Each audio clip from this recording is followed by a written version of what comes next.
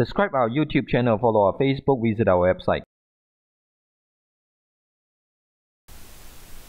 Hi, good day.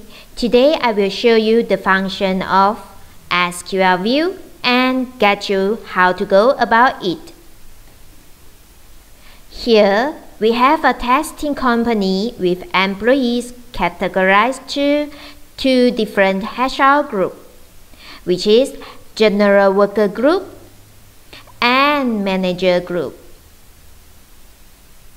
At the same time, we need to create two different users whereby admin has the full access control, but this user HANA can only handle general worker payroll. I will show the procedure to do the setting which will lead to different outcome. First, go to Tools, DIY, Maintain DIY. Select View Template, then right-click on the employee and click New View Template. Click on New button, then enter the description. In Filter tab, click here to add a new condition. Click on the green phone and select HR group. Click on the brown phone to select equals.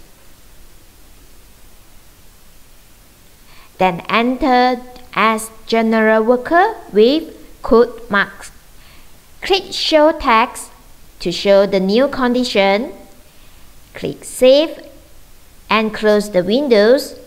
Select the record created at DIY view template and select OK. Right click at view template created and select user view. Assign the view template to HANA by click on user view, then click save. When log on as admin,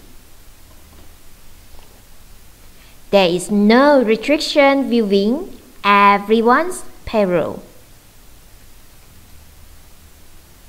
But when log in as username Hannah,